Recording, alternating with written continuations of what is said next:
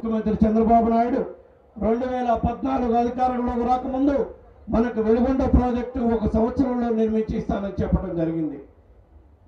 సంవత్సరం కాదు కదా ఇప్పటికి నాలుగు సంవత్సరాలైనాయి. ఆయన వెలుగొండ ప్రాజెక్టు ఇప్పటికీ నిర్మించి ఇచ్చే కార్యక్రమం చేయాల. ఆయన ఆయన మంత్రులు మన జిల్లాకు వచ్చి ప్రగల్భాలు పలుకుతున్నారు. వెలుగొండ ప్రాజెక్టు మేము సంక్రాంతికి నిర్మిస్తామని.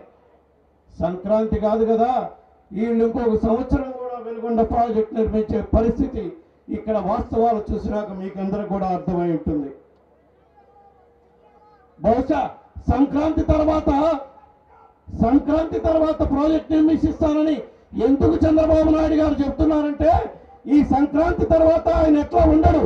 సంక్రాంతి తర్వాత వచ్చే ఎలక్షన్లో ఆయన ఇంటికి పంపిస్తారు కాబట్టి ప్రజలందరూ అందుకే ఆయన సంక్రాంతి తర్వాత ఈ ప్రాజెక్ట్ నిర్మించే చేస్తానని మళ్ళా అబద్ధాలు చెప్పే కార్యక్రమం చేస్తున్నాడని చెప్పి మీకు ఈ సందర్భంగా తెలియజేసుకుంటూ ఉన్నాను.